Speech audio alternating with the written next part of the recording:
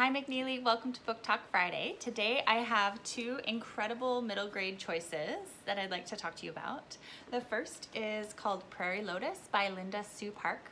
This book is getting a lot of buzz right now and it's well deserved. It's a nominee for the Global Read Aloud book and so this is one of two middle grade choices that we may be reading next year. This book is really for anyone who has struggled to see themselves reflected in the literature and the books that they read. Hannah is a young girl who has lost her mom and her and her dad traveled to the Midwest in the 1880s in the United States. And Hannah is half Chinese and it's not a friendly environment for her to be in. A lot of people in the town have never even seen an Asian person in their life.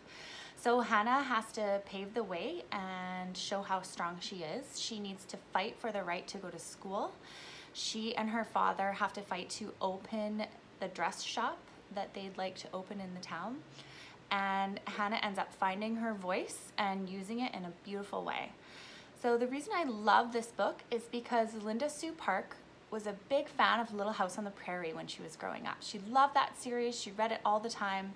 However, as an Asian girl, she never saw herself reflected as a character in those stories. And so she decided when she grew up and became an author that she was going to write a story that was set in the setting of Little House on a Prairie, and she was going to write a character based on herself into the book. And I love the idea that if you don't see yourself in the books that you read, you can grow up, or even right now, you could write them and make your way into the stories.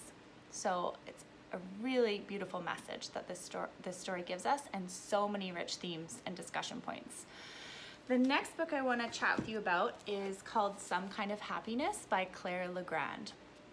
I'm going to read the first page, the opening line of this book. If you are afraid, sad, tired, or lonely, if you feel lost or strange, if you crave stories and adventure, and the magic possibility of a forest path. This book is for you.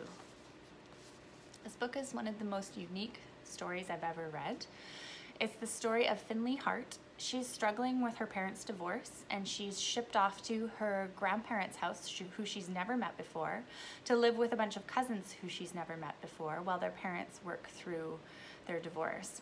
Finley feels really alone and the only escape that she has is this magical world called the Everwood, which is this forest kingdom that she's created and she writes about in her journal. So the writing style of this book is really interesting. It goes back and forth between Finley's perspective of her real life and and her writing of the Everwood. So it's part fantasy, part reality, and the two keep intertwining throughout the story. So her and her cousins embark on this adventure in her grandparents' backyard forest, and they imagine it's the Everwood. The Everwood sort of comes to life through their play. And as the family mystery and secrets build, so does the plot in the Everwood side by side until they come to one spectacular conclusion. I love this book because it confronts uh, childhood mental illness and depression in a head-on way, in a really beautiful way, and it doesn't shy away from dealing with that topic. So I really love both of these stories because I feel like for the right reader at the right time, they could be life-changing. So thanks for listening. Have a great week, and I will see you next Friday.